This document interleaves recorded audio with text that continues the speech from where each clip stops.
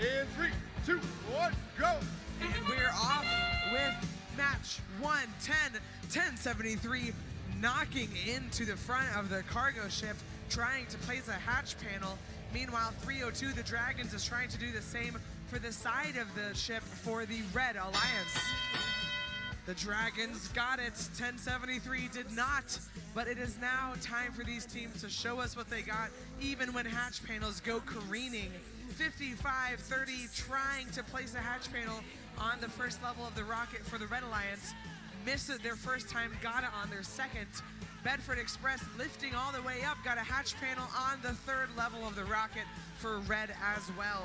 Dragons making their way over. They've got a cargo. They're now going to head over and get immediately stopped by 22-24 Robo Phoenix, who's playing defense up against the Red Alliance. Dragons were able to maneuver around them and still place the cargo into the ship for Red. 10-23 Bedford Express has all but one hatch panels they need on the rocket for the Red Alliance. Over on blue, we have a minute and 20 seconds left in this match. 28-51 Crevolution, currently ranked fourth. They are also working on a rocket. They need two more hat, two more hatch panels. They placed another. They have one barely hanging on. We'll see if it'll be able to support a cargo. Meanwhile, on the other side of the field, Bedford Express, they are done with hatch panels. Time to move on to cargo. In quickly, in quick succession, they've got one, two, three cargo into the rocket. 1073 got a whiff of this, and the Force team crossed the center line to come over and play defense up against Bedford Express.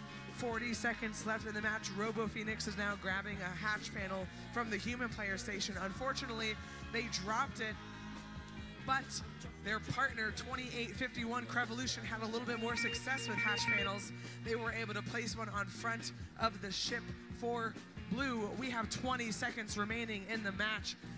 The Red Alliance is still getting a lot of defense over on the side where their rocket is nearly done. Bedford Express just needs two more cargo. They've got one, now they need one more with seven seconds remaining. I don't know if they're gonna be able to make it, but 55-30, their partner coming in, unfortunately missing, and that signals the end of time. Red Alliance not able to fill that rocket with a score this close. We'll see if they will be able to pull out a C7 and they also earn three ranking points. That's going to keep Bedford Express at number nine, but bring up their two alliance partners. Blue Alliance, unfortunately, earning zero ranking points. That's going to drop them down, all of them.